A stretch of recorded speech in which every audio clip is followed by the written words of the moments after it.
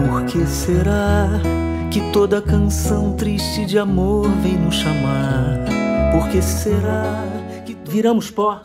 É a outra pergunta que tem no disco. Tem, tem uma coisa importante que eu tô tocando violão e cantando, mas o arranjo todo, tudo que tem na música foi o Christian que fez. Christian Noyes, meu parceiro, meu compadre, meu amor, que está morando em Londres. Assim como todos nós, todos nós gravamos em casa as nossas partes, né? Sem podermos nos encontrar. E o Christian mandou de Londres as coisas. E a gente se emocionou muito. E ele mesmo, quando mandou para mim, disse que gravou muito emocionado as coisas. Sempre com aquele bom gosto do Christian, ele trouxe uma viagem pro disco diferente. Aliás, o Onde é que isso vai dar é, é que é o primeiro arranjo dele do disco. Você sente que tem uma viagem ali.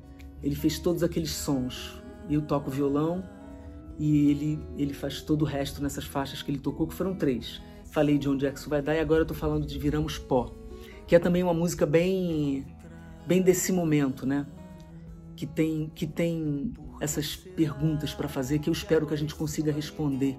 Viramos Pó é um countryzinho que é bem a nossa cara. O disco tá todo bastante folk, assim, de um modo geral, que é muito a nossa cara. Quando será que esse vasto céu sem chão vai desabar?